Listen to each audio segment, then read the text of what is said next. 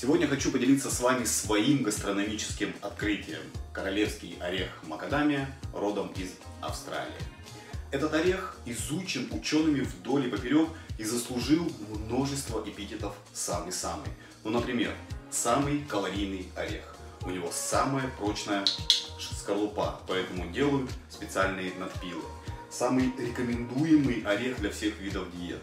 Самый трудновыращиваемый, самый священный и самый дорогой орех в мире. Макадамия сочетает в себе неповторимый аромат. Он сладкий на вкус, с характерными нотами шоколада и а, ванили. Имеет лечебные свойства благодаря огромному количеству витаминов и микро-макроэлементов, накопленных за длительный период созревания под жарким тропическим солнцем. Кстати, чтобы легче было открывать твердую скорлупу ореха, прикладывают специальный ключ, а на скорлупе делают паз. Рекомендую данный орех а, к употреблению. Питайтесь правильно и будьте здоровы.